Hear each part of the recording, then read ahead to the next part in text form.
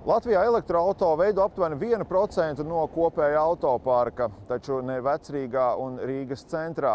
Atsevišķās stāvvietās te var novērot, ka katrs trešais vai pat otrais automobīls ir elektroautorāta. Tas tādēļ, ka Rīgā pat dārgākajās stāvvietās elektroautorāta drīkst turēt bez maksas. Vecrīgā par auto novietošanu jāmaksā sākot no 6 rītā līdz pusnaktī. Pirmā stunda 5 eiro, katra nākamā 8. Ja kāds savu auto ar benzīnu vai dīzeļu dzinēju gribētu vecrīgi atstāt visu diennakti, tad būtu jāšķiras no 141 eiro, bet ne elektroauto īpašniekiem. Viņi var stāvēt bez maksas, cik uziet. Jādomā, ka autovadītāji, kas var atļauties elektroautorāta, spētu arī samaksāt par stāvvietu pilsētas centrā. Taču šī ir Rīgas pašvaldības apzināti ieviest atlaide, lai stimulētu elektroautorāta izmantošanu. Kad to ieviesa 16. gadā, elektroautorāta bija retums, bet pēdējās desmitgades laikā automobīļi ar elektrisko dzinēju kopā ar hibrīdu modeļiem Latvijā pieckāršojušies, pārsniedzot 8000, un vecpilsēta kļūst par milzu stāvvietu. Nu, šobrīd eh, mums statistika uzrāda to, ka vecrīgā tiešām ir diezgan liels elektroautorāta pieplūdums. Principā, ja mēs skatāmies, tikai 5% ir tie, kas maksā pilnu cenu par stāvēšanu vecrīgā automašīnai. Tā kā lielākā daļa tur elektroautorāta, plus, diemžēl, man jāatzīst, arī vēl mm, tiek viltojumi arī ar, ar invalīdu zīmēm. Ja? Uzņēmumā Rīgas satiksme, kas apsaimnieko maksas autostāvvietas, automobīļu uzskaiti neveic. Uz aci gan var redzēt, ka arī ārpus vecrīgas pilsētas centra dārgākajās stāvvietās bez maksas novietoto elektroauto ir gana daudz. Taisnība, ka šie auto nepiesārņo gaisu tik daudz kā iekšdedzes automobīļi, bet uz centru tie brauc un vietu aizņem. Rīgā arī atļauts ar elektroauto braukt pa sabiedriskā transporta joslām, kas ir vēl viens vilinājums pārvietoties pa pilsētu ar mašīnu. Iztēlojies bezmaksas autostāvvietas galvaspilsētā, korķu apbraukšanu pa autobusu joslām un bezmaksas iebraukšanu jūrmalā tavas vasaras baudīšanai. Likums sakarīgi, ka šos labumus reklamē arī elektromobīļu tirgotāji. Kā stāsta Latvijas elektroautobiedrības pārstāvis, pircējiem Latvijā ne jau vidas faktori ir noteicoši iepērkot elektromobīli. Nu, kad mēs aptaujājām elektroauto īpašniekus, kas bija viņu galvenie vadmotīvi izvēloties elektrisko mašīnu, tie bija ekonomiskie.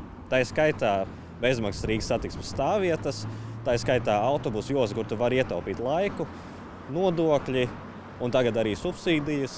Tā kā ekonomiskais faktors ir galvenais vadmotīvs iegādājoties elektroautorātu. Rīgas domnieki uzskata, ka priekšrocības elektroautorāta vadītājiem ir jāsaglabā virzība būtu nesamazināt esošās eh, atlaides, nu, proti, joslas, braukšana pa joslām un stāvvietas. Ja. Eh, tas, uz ko mēs ejam uz priekšu, bet vēl tāda precīza risinājuma nav, bet nu, būs vairākas diskusijas un viss pārējais, saucamo bezizmešu zonu, bezizmešu zonu veidošanos Rīgas nu, centrā sanāks tā, nu, kur priekšroka tiks dota elektroautorāta. Par satiksmes jomu atbildīgās domas komitejas vadītājs Pulks vienīgi pieļauj, ka kaut kas jādara ar ilgstošu stāvēšanu vecrīgā.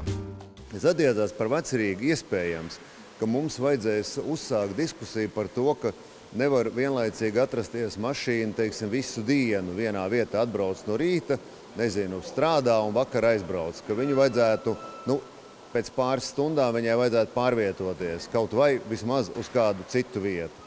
Eh, vai arī otrs variants ir samazināt šo iespēju eh, vispār bezmaksas novietot eh, vecrīgā ilgāk par divām stundām.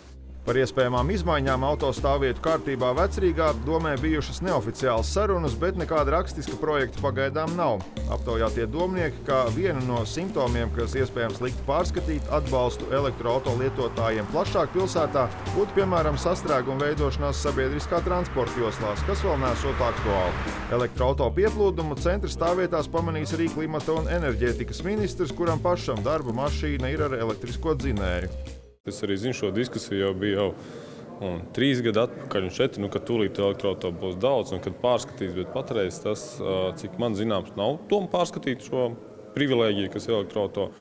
Šīs privilēģijas gan pieejamas tikai maksātspējīgiem. Jauns elektroautorāta bāzes komplektācijā bez PVN un papildus aprīkojuma maksā virs 20 tūkstošiem eiro.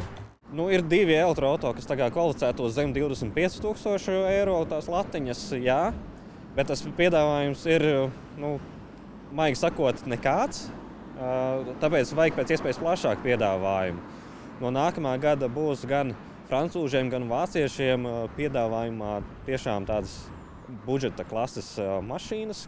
Valsts kopš 2002. gada aprīļa ar īpašu programmu atbalsta iedzīvotājus bez emisiju vai maz emisiju auto iegādē. Programma īpaši lēcienu piedzīvojusi pēdējos mēnešos, augstāko pieprasījumu sasniedzot septembrī, kad valsts līdzfinansējums pietuvojās vienam miljonam eiro. Kopā divu ar pus gadu laikā par 10 miljoniem eiro līdzfinansēta 2,5 tūkstošu elektroautorāta iegāde, gan jaunu, gan lietotu, kas kļuvuši populārāk pēdējos mēnešos. Visvairāk pircēju Rīgā un Pierīgā. Atbildīgā ministrija vēl tikai plāno vērtēt, cik sekmīga elektroautorāta atbalsta programma bijusi. Noteikti mēs arī līdz gada beigām, nu, programma noslēdzās gada beigās, izvērtēsim, kāds ir pieprasījums un cik cilvēkiem ir liela interese. Patreiz mēs jau redzam, ka tā interese ir ļoti atbalstām, jo katrs trešais elektroautorāts, ko piesakās vai hibrīds, piesakās daudz bērnu ģimene nu, kas parāda, ka jā, cilvēku interesi arī piesakās.